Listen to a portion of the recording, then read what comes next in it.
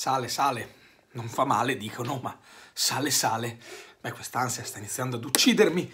Prima di cominciare, una puntualizzazione, anzi, prima di cominciare ovviamente passate qui sotto in descrizione e scaricate OneFootball, che è lo sponsor di questo canale e ovviamente la migliore applicazione per quanto riguarda il mondo del calcio.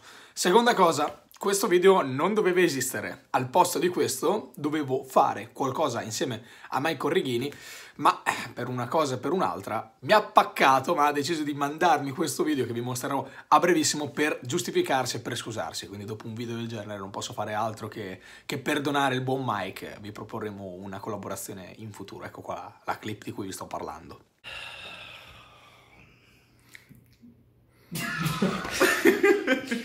allora, vera- no, veramente. Guarda la faccia, dai. No, uno schifo, non ti ho neanche risposto, non ti ho cagato da mille ore. Scusa, scusa. Allora, siamo andati a letto alle 7.40, E ci siamo svegliati. alle 11 e un quarto, Fa un po' per fare le riprese fino adesso, si cena e ne avremo fino alle 2 per poi domani alle 7 ripartire. Non che uno vero. dice che cazzo me ne frega, no, però è giusto per dire che non c'era proprio modo Zero proprio. di poter fare questo video. Scappava la cacca, neanche l'ho fatto. Vabbè, tanto ti saluta Matt e anche tutti quelli qui del cast Ciao Luca! delle riprese. Già, Come vedi siamo tutti molto, molto energici, abbiamo dormito, riposato. Questo fondamentalmente è un video di scuse di merda. E allora mi sono detto, che cosa posso fare domenica mattina, la domenica mattina di Inter-Juve? La domenica mattina di Inter-Juve. Intanto sto cercando di sopravvivere, sto provando a, a non morire di ansia, perché sto veramente, c'è questa parte del cuore che sta facendo male. Ieri sera stavo tornando da Ferrara con la mia ragazza e in macchina a un certo punto le ho detto, sto male. E lei mi ha detto, cosa succede? Vuoi, vuoi fermarti? Cioè, c'è la strada, stiamo guidando, no, no, fermati, che sa mai che, che hai un malore. Gli ho detto, no, no, sto male perché ho l'ansia. E mi guarda e fa, ma da cosa?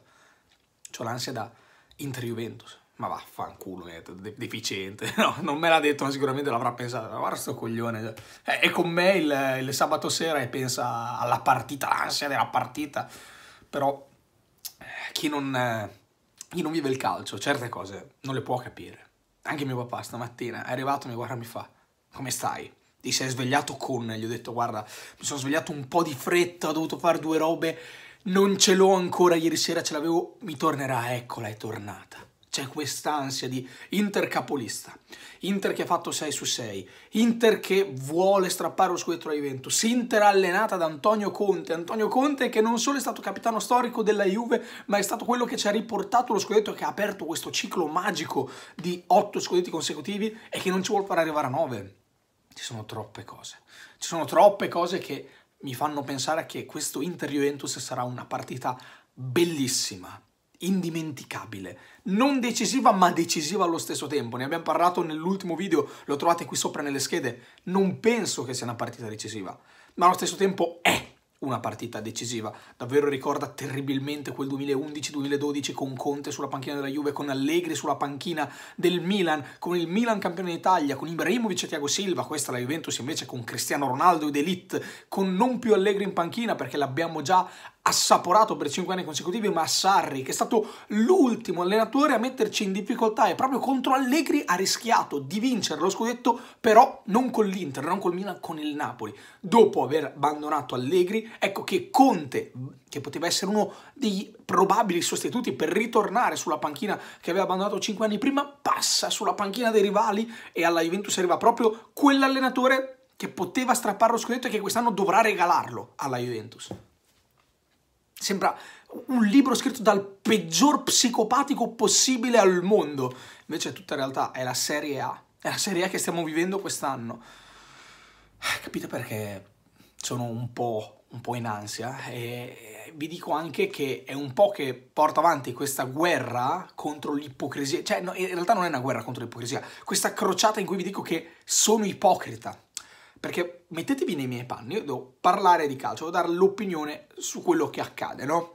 E cerco di essere sempre onesto con me stesso, perché sennò tutto quello che sto facendo non avrebbe senso, quindi nessuno mi dice che cosa devo dire, io dico quello che sento, quello che provo, quello che vivo, E in questo momento vivo questo, in questo momento vivo questo, ma quando ci fu l'ufficialità di Conte all'Inter fui uno dei primi, forse uno dei pochi Juventini, a mettermi lì e dire, eh ragazzi, professionista è giusto che faccia così, cioè non, non c'è niente di... sì, dà fastidio, ma questo è un professionista, noi non l'abbiamo ingaggiato, non è che non può andare a allenare le altre squadre.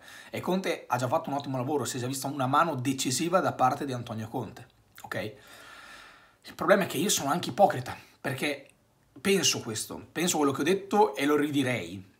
Ma in questo momento mi sto immaginando la scena di 0-0 al novantesimo e poi una percussione incredibile, che ne so, di, di Politano, che non per dirne uno di Sensi, dribbling, slalom tra tutti i nostri difensori, cross, Lukaku di testa 1-0 Inter o ancora peggio un calcio d'angolo in cui o una punizione in cui non siamo ancora al 100% bravi a marcare c'è l'imbucata perché abbiamo marcato a zona male, l'Inter ci batte, 1-0 novantesimo, Antonio Conte che inizia a esultare come un matto sotto la curva di San Siro davanti ai tifosi della Juve, davanti a Marotta, Paratici, Nedved, eh, Marotta che tra l'altro ha cambiato sponda pure lui, no? Quindi eh, ad Agnelli, lo stesso Agnelli che si narra che non ci sia mai stato tutto questo buon sangue tra Conte e Agnelli e, e quindi un insieme di cose.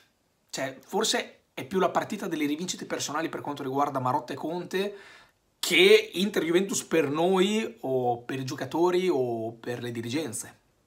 Questo momento l'Inter ha delle motivazioni grosse per poter fare la partita, vincere la partita e provare a vincere il campionato, cosa che invece la Juventus sì, ovvio che la Juventus abbia delle motivazioni grosse, però quella frase è sempre più difficile continuare a vincere che vincere basta, è assolutamente vera, perché gli stimoli da otto anni a questa parte la Juve certo li ha, li ha messi in campo, li ha dimostrati, ma non c'è mai stata quella stessa cattiveria che eh, si è vista il primo anno di Conte, lì veramente c'era una cattiveria diversa, una voglia di dimostrare, far vedere al mondo che sì, la Juventus veniva da due settimi posti consecutivi, ma eh, in realtà quei giocatori erano forti, quella squadra era forte, quella voglia di emergere, di, di dire ci sono anch'io, sono importante anch'io. E una volta che hai vinto, ovvio, tutti sanno che sei campione d'Italia da un anno, da due anni, da tre anni, quando inizia ad essere da 4, 5, 6, 7 anni consecutivi, 8 anni consecutivi, ecco che non c'è più il parto in sordina e cerco di arrivare a diventare grande, sei il grande e tutti si aspettano tanto da te. E ovviamente prima o poi la Juventus, lo ribadisco ancora per la millesima volta, perderà lo scudetto. Non so se sarà quest'anno, non so se sarà l'anno prossimo fra due. Io mi auguro almeno di arrivare a 10 scudetti consecutivi. Siamo a 8, ne bastano altri due. Ma stiamo parlando di, di, di roba allucinante, Sono, questo è un ciclo irripetibile che nei maggiori campionati europei mai si è verificato e che forse mai più si verificherà in tutta Europa e magari neanche in Serie A, perché stiamo parlando veramente di un campionato che comunque rimane complicato, difficile. l'Inter di Conte, che tra l'altro in questo momento non è neanche messa benissimo in Champions, e di questo mi dispiace perché speravo potessero andare più avanti possibile per perdere quelle energie che poi potrebbero tramutarsi in punti di distanza in classifica in Serie A in maniera positiva, ovviamente, mi aspettavo quindi con la Juve davanti e l'Inter dietro. Se l'Inter esce dalla Champions diventa un po' un problema perché eh, loro poi punteranno esclusivamente sulla Serie A Vedremo cosa succederà. La Juventus ovviamente ha due squadre per gestire questa cosa, al contrario magari dell'Inter, e credo che abbia dei singoli anche più forti rispetto a quelli dell'Inter. Per loro hanno Antonio Conte, che io conosco come un libro aperto, noi abbiamo Maurizio Sarri che sto ancora cercando di imparare a conoscere punti di forza e debolezze ci arriveremo, ovviamente ci vogliono anni, ci vuole del tempo, non si può improvvisare. Certo, io Sarri l'avevo visto a Napoli, ma eh, è, un Sarri completamente diverso, è un Sarri che cerca più risultato quello di Torino, magari l'esperienza al Chelsea, eh, l'aver vinto un trofeo internazionale l'ha portato a pensare cose di questo tipo, magari gli è stato imposto dalla dirigenza, come magari al tempo del Napoli eh, si sapeva di essere più deboli e quindi eh, si diceva Maurizio di questo, questo, questo, quindi magari Sarri non ha questa libertà che ho io, che vi ho detto all'inizio, dico quello che penso, magari un tesserato di una, di una squadra di alto livello di Serie A, non può essere Sarri, Conte, Ancelotti, Fonseca, che ne so, Giampaolo, hanno determinati vincoli contrattuali che impongono di seguire una certa linea di pensiero. Io non so se dirvi purtroppo perché non guadagno quei soldi o perché non sono tesserato per un big club o per fortuna perché posso essere libero di dire quello che voglio, però ho questa fortuna e voi avete questa fortuna di poter ascoltare il mio bel faccione che dice delle minchiate. Niente, questo è stato il riassunto perfetto di quello che è il mio interview e di quello che spero che non possa accadere, quindi il gol al novantesimo con esultanza di Conte, perché sì, assolutamente sono d'accordo che Conte possa essere allenatore dell'Inter, che abbia voluto provare qui e là tutto il discorso che abbiamo sempre fatto da, da, da quest'estate ad oggi, però l'ipocrisia mi viene a portare di dire che un'esultanza di Antonio Conte contro la Juve a prescindere anche che, non sia il novantesimo, certo, quello mi darebbe un fastidio da matti, inizierei a rosicare da qui fino a Juventus Inter sperando di ricambiare con Sare che risulta in faccia.